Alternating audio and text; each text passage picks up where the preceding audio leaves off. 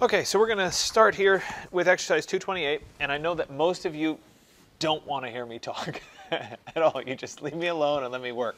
Uh, I get that that's the case, but I have to go through these things just to make sure that at least it's maybe going in one ear and rattling around in there a little bit. Um, so we're going to repeat a lot of what we did the last two classes when we did the elevation view and the plan view. The difference is this time we're going to do a section cut. And I think those three drawings are kind of the critical ones. If you're going to get out of your model, you want to get something out. Being able to do a quick elevation, being able to do a quick plan, and being able to do a quick section would be the three big ones. Um, we have we have today then on Wednesday, I will go through some post-processing, some a little bit of Photoshop, uh, how to use primarily Z-depth as a um, as a mask inside of Photoshop because I think it's a really great tool to kind of enhance your drawings. Um, I will not go over the top. I will not talk for too long because I know you all just want me to leave you alone anyway. Uh, and then everything's due on Monday. So we're, we're wrapping up. Make sure that you go back and you review the exact requirements. Make sure that I do have an interior day and night render and an exterior day and night render. That's four renders, two of which are daytime, two of which are nighttime. And I get two drawings, plan, section, elevation. You pick two of three to give to me. The elevation, it's only one of the building's four elevations, so just one elevation is fine. But I need, um, you, you pick basically plan, section, elevation. You pick two of those three to give to me. So uh, I went ahead and I opened up my master site file again so that I can go ahead and cut my section. Uh, I'm going to go to File and then Save As, just like I did with all the rest of them. Remember, this is going to be destructive, so we're going to go ahead and call this one uh, Section. I'm going to call it Section 2 this time and I'll go ahead and click on Save. We did go through this uh, before, the, the difference being that the last time we did a three-dimensional section cut with a rendering, this time it's going to be a line drawing coming out of it. Um, so the first, first kind of process here is to figure out where we want to slice through the building. And I have two different choices, two different axes that would be relevant, and I kind of need to sort through what's the what's the best strategy in terms of what I'm cutting through uh, and what I'm looking at. So the elevation view, I think I did this one. Um, I have done this one in the past, though I think it's a much less interesting section. So I like cutting through the stairs because when you cut through the stairs, you get the more interesting section. So I'm going to cut through that uh, particular direction. So I'm going to go ahead and create a large plane that's larger than everything that's going to tell me where I'm going to cut my section. So let me go ahead and create a new layer for this. We'll call this section. Hold on, let me move this over just a little bit. There we go. There we go. Uh, and then I'll create a sublayer called section plane. Perfect. And then I'll use the rectangular plane vertical. I'll zoom out a bit. Make sure that I'm on axis, so I'm holding down shift. Make sure that it's larger than everything in my scene. And then I'm actually going to move it down to make sure it fully intersects with everything on the screen. Let me turn on my uh, end and midpoint snaps to do that. There we go. And then I'll look at it in the top view to help me place where this is going to go. And I'll go ahead and start by moving it so that it's closer to where I want it. And then we'll zoom in and move. And at this point, I have to decide where am I going to cut through uh, the building. And so if I cut right through here, if I'm looking this way, I'm going to see this room, I'm going to see the stairs, and I'm also going to see this room. If I was turned around looking the other direction, I would probably move this back a bit. Let's say back like that, so that at least I'd see part of this room there uh, and almost all of the room right here. So it's just a matter of which way you want to want to look at it. I'm going to go ahead and do it looking the opposite direction because I don't think I've ever done a section looking that direction, so we might as well do it that way. Uh, so I've gone ahead and I've placed this where I think it's uh, best in terms of intersecting. Let me move it just a little bit more that way. There we go. I'll come back and I'll look at my perspective view here. I want to be looking this direction at the section cut, right like that. So the first thing I need to do is I need to take my blocks and I need to explode them all. So I'm going to type in SEL block instance. So I select all the blocks. I'm going to type explode. And it's going to, going to bring up all of these uh, material swap outs. We'll just go ahead and say OK.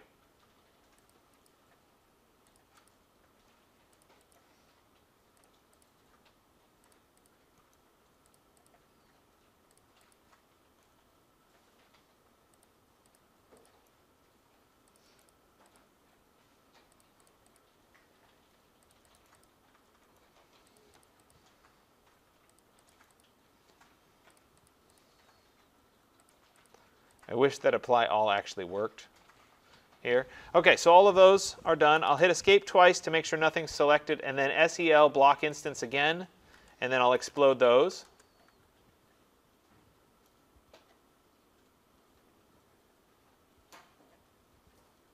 There we go. Hit escape twice, nothing selected. SEL block instance again, explode.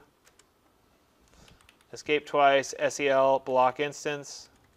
Helps uh, nothing left to select. So that's where I wanted to be. Now it's time to go ahead and do the split. So I'm going to go ahead and type split. Select objects to split. It's going to be all. But then I'm going to hold down the control key and deselect that big plane. So I have everything but the big plane. I'll go ahead and press enter. Select cutting objects. That's where that plane comes in. There it is. And I'll press enter and we'll let it run. And so this takes a little bit of time. And like I've said before, if you get a few split fails, that's not uncommon. It's not necessarily what you're cutting through that's failing. It's objects that are not cut through that are throwing the, the split failed error.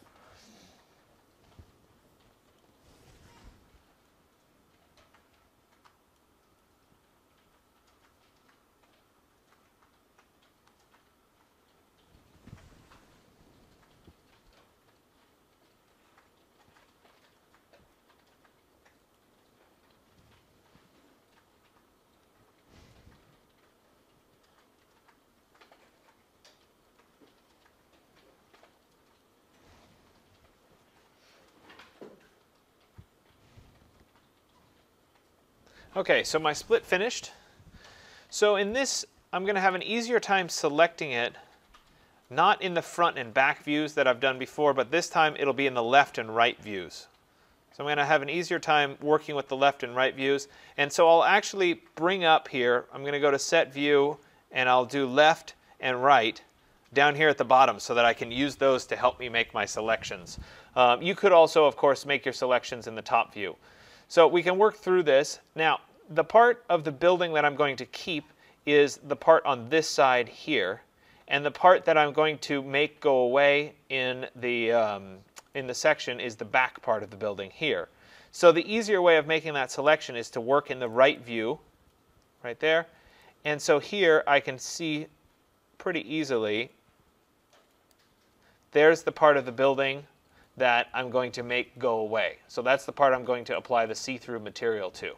But before I do that, I want to go ahead and uh, select all of the glass in the entire building. And I'll do that by opening up the V-Ray um, asset editor here. I'm going to go into materials. I'm going to look for basic glass, which is the material that I'm using for all of the windows. And I will right click on that material and say select objects in scene. This will select all the objects that have basic glass applied to them. I will then come over to my layer stack here, create a new layer for glass, and I will right click on glass and say change all, uh, change object layer. So now all of the glass is now on this layer. Basically I took all the glass from the scene and threw it onto one layer so I have more fine control of it. I'll go ahead and turn off that glass so it's no longer part of my scene. And now I can start to work with my see-through material. So the back half here needs to have the see-through material applied to it. I'll, oh, in the V-Ray asset editor, I need to load up the see-through material. I have that on my flash drive, so flash drive. So I will go ahead and click on the import VRMat button. This will let me bring up my see-through material. It's in Resources, V-Ray, V-Ray Materials, uh, Special Materials, See-Through, and there it is. And we'll go ahead and open it. Remember the see-through material is uh, transparent to the eye, but is opaque, so it still casts shadows the way it should.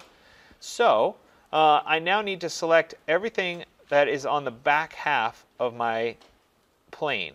So I'll drag it going that way. And if I look closely, I've gotten everything right there. Yep, that looks right. I'm going to go ahead and apply that see-through material. So I'll right-click on it and say Apply Material to Selection.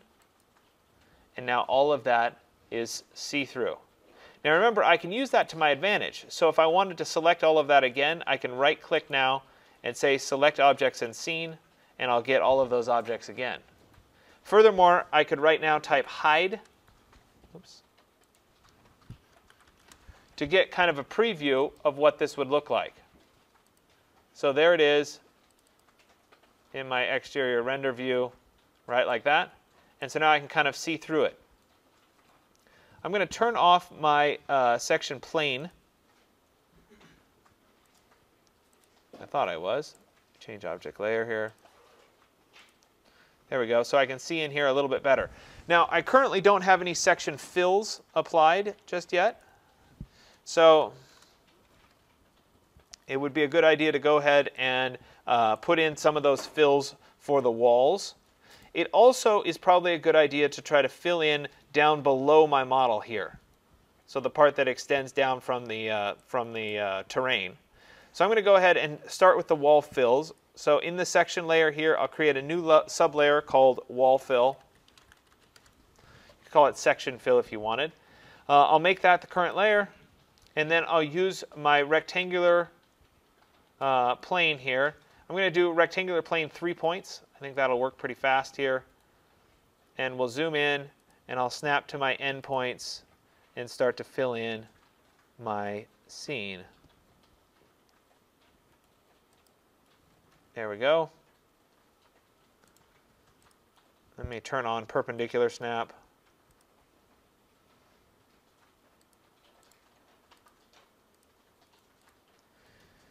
The Section Tools plugin, which does not work for this version of Rhino for whatever reason, used to do a lot of this for you, so you didn't have to go through and manually add the, the section fills.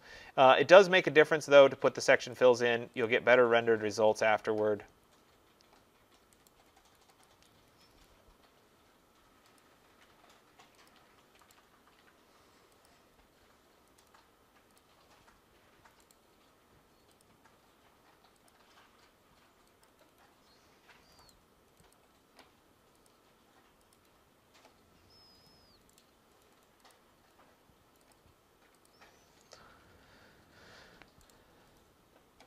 So bear with me just a little bit longer. I won't do all of them, but I'm just trying to get enough so that when you go to look at it, it's going to look a little bit better.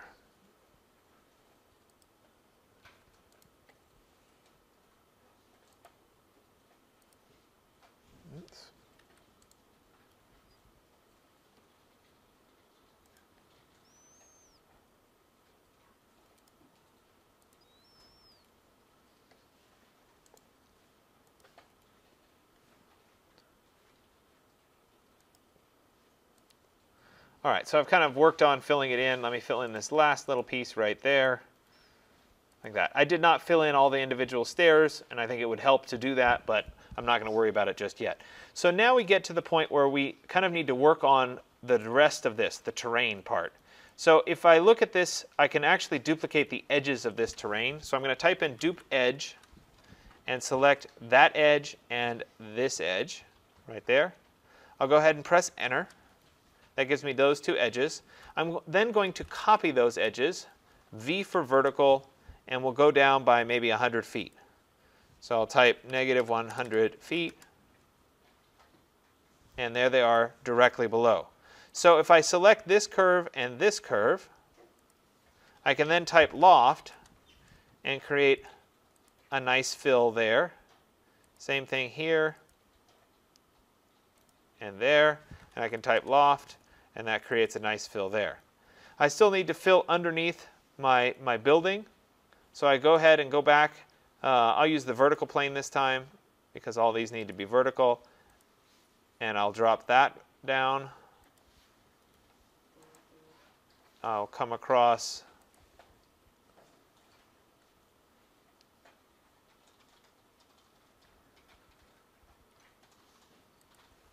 there and there, and we'll drop this down like that. Um, the pool is a little bit more problematic because uh, I have uh, kind of a cut through the pool here. Not that this end of the pool is exactly the way you want to see it, but I need to sort out kind of how that fills in and or whether I want to fill that in. Um, I could do a loft. I could duplicate edges and do a loft between the two. I could also for simplicity purposes, I'm just going to go ahead and fill the whole thing in all the way across like that, and we'll come down to, say, right about there. I'm just trying to simplify things. Uh, in an ideal world, I'd deal with that, and uh, we could we could mimic the water surface, etc. But that's good enough for right now. I'm going to create a material that's just black for my wall fill. So I'll go ahead and click on the new material. It's going to be a generic material. I will call it wall fill.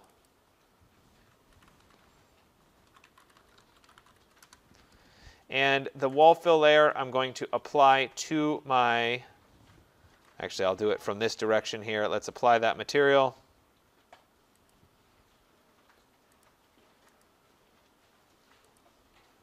And It is the wall fill.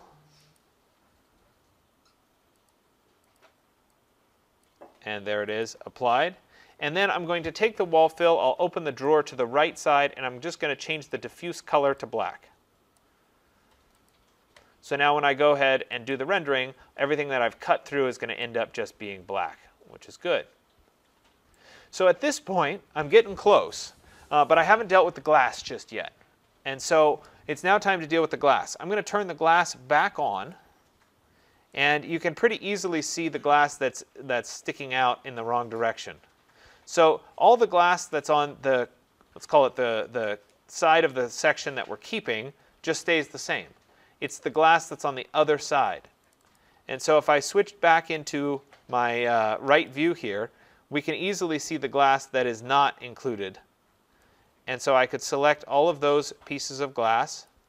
And all of these pieces of glass just need to be fully transparent. So I'll go into my V-Ray. I'll go into my materials. I'm going to create a new material. It's going to be generic. And this one is going to be transparent.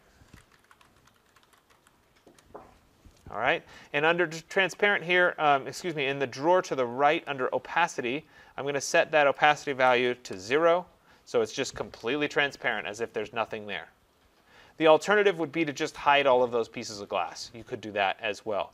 Let me right click on transparent and say apply um, material to selection right there. And so now all of those are transparent. At this point, I can show all the remaining objects that I had hidden. So I'll type show, and I'll get the, the, the back half of the drawing here. There we go. So it's time to set up my view for this, for my rendering. So to set up my view, I want to orient my camera to one of these rear surfaces so that I'm looking uh, right at the building. Uh, and I want to make sure that it's set up for parallel projection. So when I do that, I'm going to go ahead and um, click on the little triangle here, come down to Set Camera, and I'm going to choose Orient Camera to Surface, right there.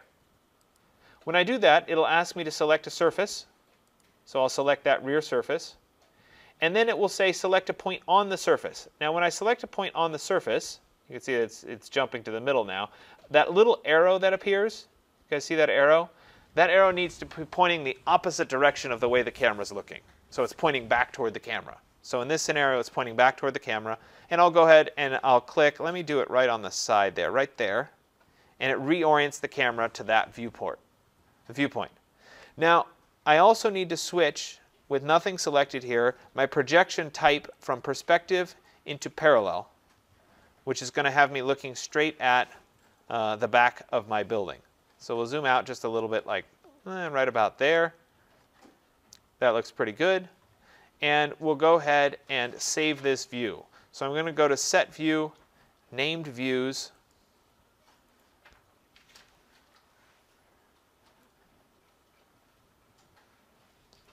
Actually, I'm not sure that I'm seeing everything I want to see just yet. Uh, I'll come back and resave it, but I want to zoom out a little bit more because I wasn't seeing the pool over on this side. So we'll zoom out just a little bit. I might even pan just a bit to pull this one over. And we'll say right about there. I'll go ahead and click on the Save View, and we'll call this Section 2. And I'll say OK. That'll let me return to the Section 2 layer. So I'll go ahead and close that. Now you see that this half of the material, or this half of the terrain, is right in the way of what I'm trying to look, look at. So I'm going to go ahead and take that half and type in hide so that it goes away. At this point, now I can start to work through both a make 2D and a render of this particular section. So I'll go ahead and save it just in case something were to crash. And then it's, it's time to go ahead and make the, uh, the, the uh, render and the make 2D of this particular space. So if I wanted to, to do the make 2D, I would go ahead and hide this half of the building. So I'll select it all as I've been doing. Right there. I have it all. I'll go ahead and type hide. There it is. I can make section active here. And then I can go ahead and type in make 2D. Select objects to draw. It's going to be all. And I'll go ahead and press enter. Then we get to the make 2D options. I'm going to leave it on from input objects. I'm not going to maintain source layer, so I'm going to keep it simple for this particular uh, export. I'm not going to turn on tangent lines. I do want to make sure that I check the box for viewport rectangle. That's absolutely critical. So I'll do that, and I'll go ahead and say OK, and it will make the Make 2D for me.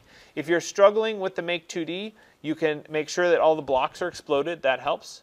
You can also turn off complex furniture because the complex furniture might increase the, the time that it takes to do this uh, work.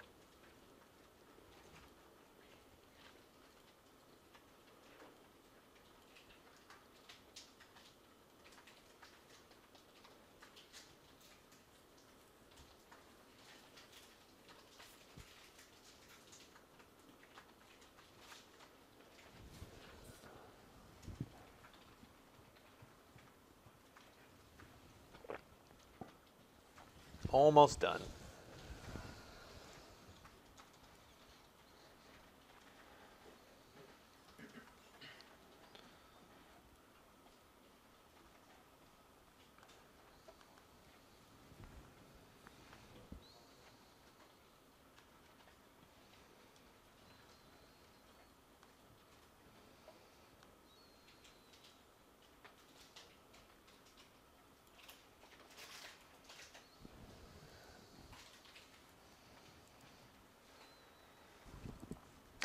All right, so it looks like it's, it's finished its Make 2D. To see that, I'm going to look in the top view of my drawing, and I should see that Make 2D right here.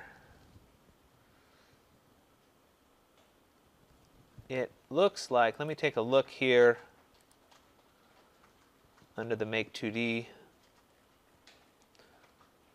layers it doesn't look like it did the best job of it. So I'm going to have to sort out what, what went wrong and why it gave me only part of a building.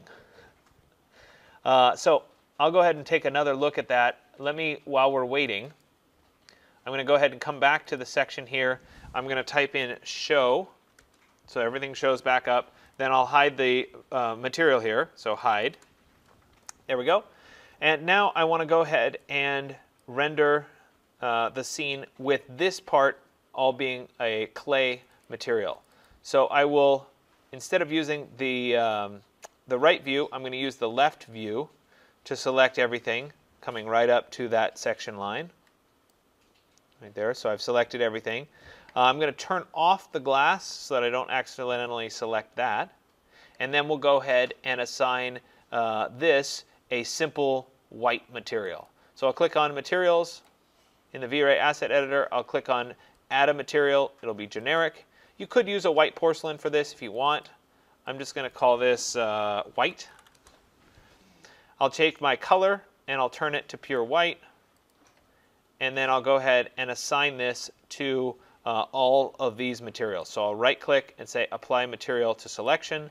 All of those will have white. Um, I could also call this clay, that might be easier. Call it clay.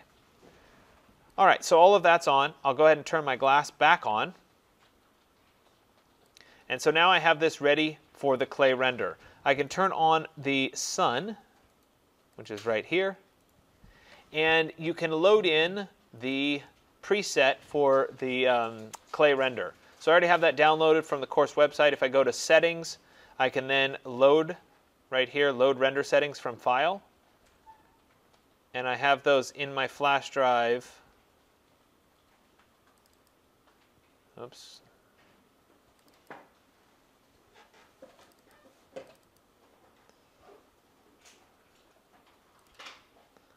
And there's the clay render. So I can load those settings.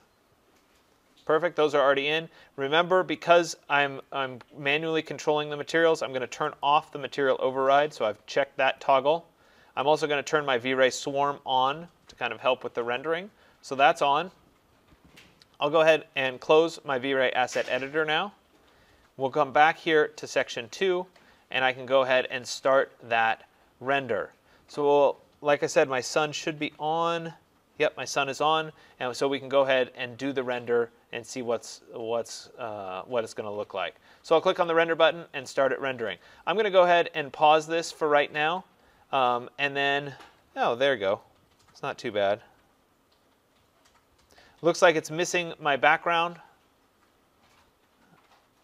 which may or may not be okay. Um, I'm going to let this run through for a little bit and then I'll come back. I'll also try to solve why the make 2D wasn't giving me all of my objects.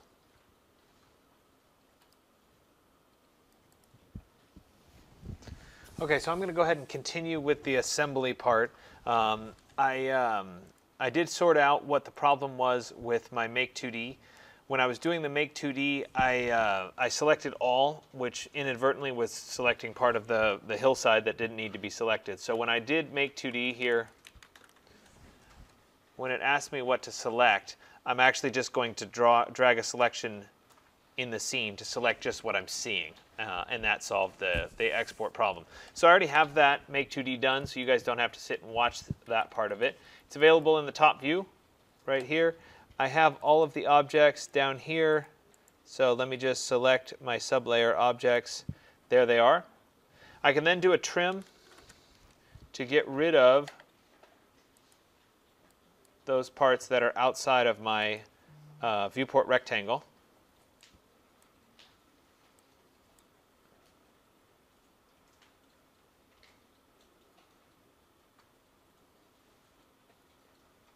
If it doesn't decide to crash on me.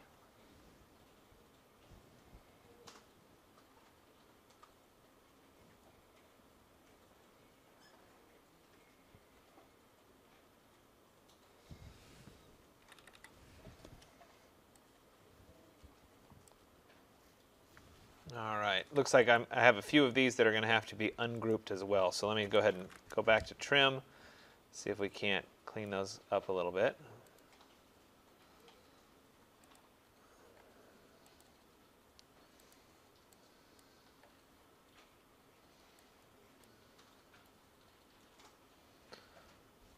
All right, that'll work. I'll select everything here. Uh, these objects are not selecting because they're part of groups, so I will take those that are part of groups and ungroup them.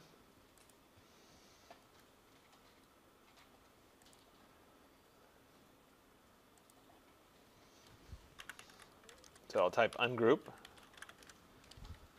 and then I will try to remake that selection. Uh, looks like I'm missing just a couple pieces here.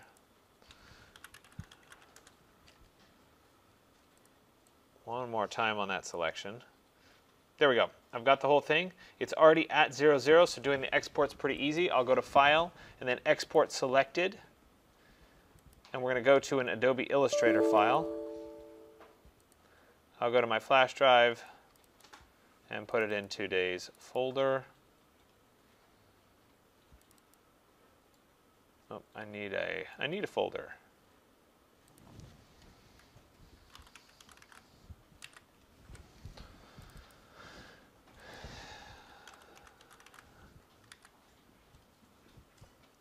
Uh, under options, oh, I still didn't do the uh, units quite correctly. I need to go back and remember to change that on my initial one. This should be in inches.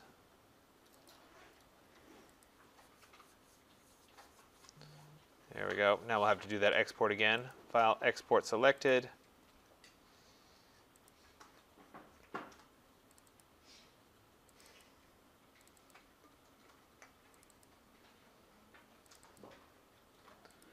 And this is again going to be an Illustrator file. And under options here, now I can preserve the model scale. Uh, 48 each inches equals one inch. That'll give me a quarter inch equals a foot scale. And then I'll go ahead and save it.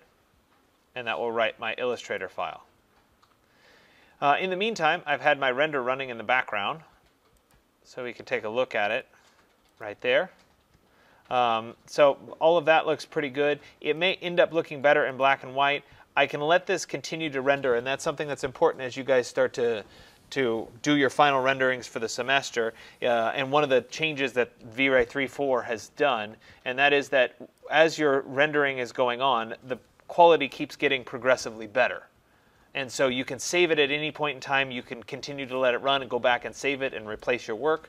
Uh, this one's only made it through past 24, but it's not too bad in terms of quality, so I can go ahead and save that right now. So I'm going to go ahead and save the current channel. If I save it as a PNG file, the background will all be transparent. If I save it as a JPEG, I will have uh, color for the background file. Uh, so that's just a, a, matter of preference. I'm going to go ahead and save it as the PNG file with no background. Um, You may end up doing both. So I've saved it there, and then I will save it again.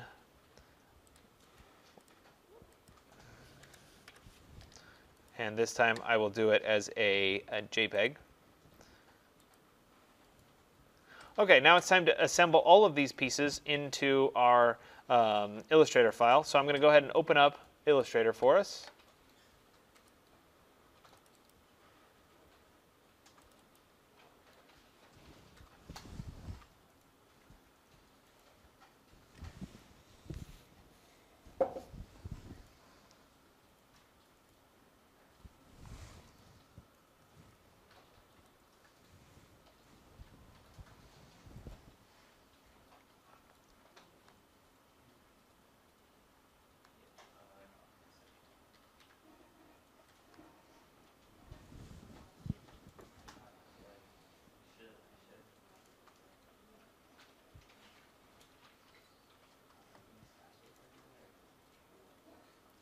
All right, with Illustrator open, I'll go ahead and go to File and then Open, and I'm going to choose that um, Illustrator file that I created from Rhino.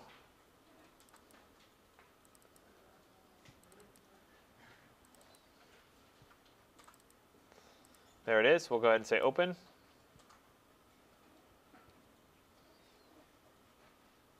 As was the case with the other exports that I did previously, uh, in this one I have to first adjust my artboard. So I'll go ahead and click on the artboard tool right here.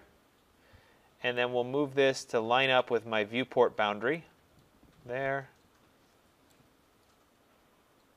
And right there. When I'm done, I'll go back to my regular selection tool. I'll press Control 0, and we can now see the live line version of my section. There's obviously going to be a lot of cleanup here. If I look at my layers, I have a visible layer, a hidden layer, uh, and maybe another visible layer to kind of sort through what we're seeing here.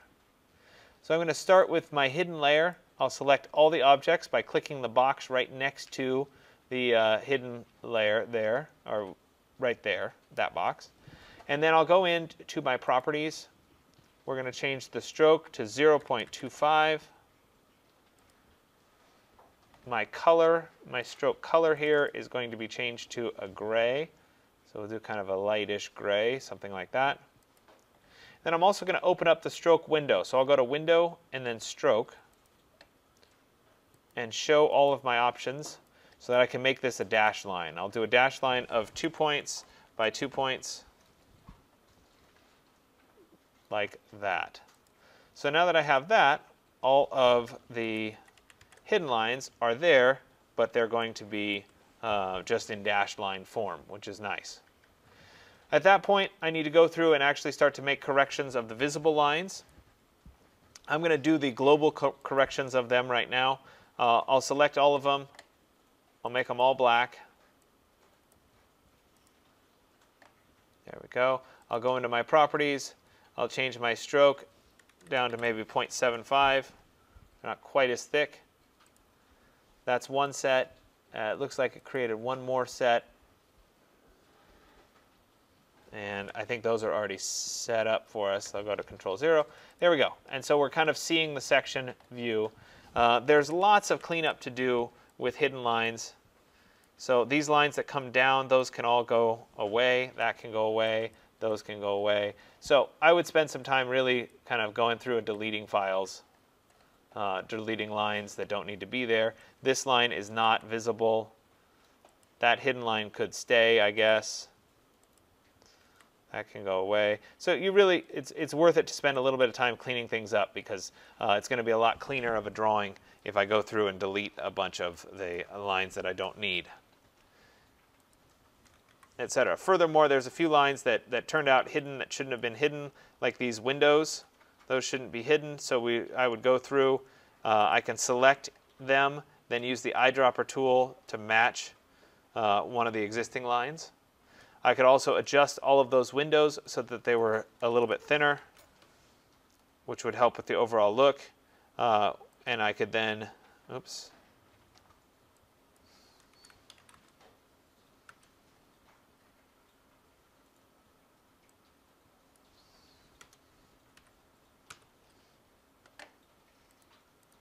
There we go. I could select the rest of these windows. So I could hold down shift and select more pieces and then I could match those to this little bit thinner line like that. So it would take a little bit of time to go through that and make it all look good, but with a little bit of time and a little bit of patience, we could get a nice looking um, section cut available for us. At this point, I would go ahead and bring in those other, the, the background so let me go ahead and create a new layer so I can bring it in on the new layer. I'll put it at the very bottom of the layer, layer stack here. And I'll go to File and then Place. And this is going to be that render file. So I'll start with the, uh, the PNG file because the background's transparent.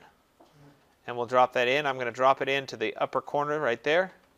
And then I'll adjust the size. So I'll use my um, regular selection tool to adjust the size. I need to hold down shift to keep it in proportion and we'll snap right there to the end and that then lines up on my line drawing. Again, I want to make sure that it's at the bottom of the layer stack. If it's too strong, I can change um, the opacity of that particular object. Right here, if I select it, I can change the opacity maybe to 50%, and that'll lighten it up against my line drawing, which could be an option. Uh, I could also collage in uh, a background image if I wanted a, a, picture of sky or whatever. That's why I used this version, which has the transparent piece to it, because I can drop that, uh, that sky in or the view, etc. So I could go find that. Uh, I know that you guys are all busy working anyway, so I'm going to let you go and continue working, but I at least wanted to walk through how do you get this into um, Illustrator, and then you would save this as your final product. All right? Remember, this is a scale drawing, so if you were going to use it, you could actually put a scale on it and it would be accurate uh, and it would look right with the rest of your uh, drawings that you've done. It's a pretty simple process once you get it practiced a few times. Um, the other thing that I didn't mention is that you could also in Rhino here, we could go and use our um, Arctic preset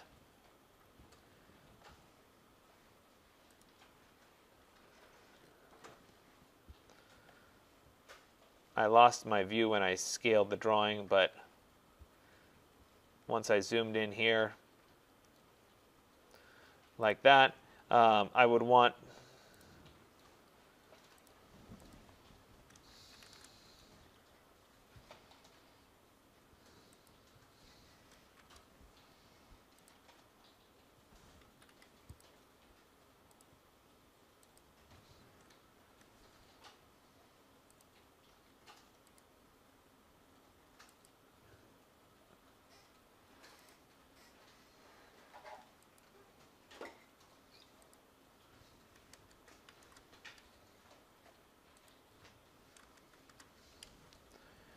There we go.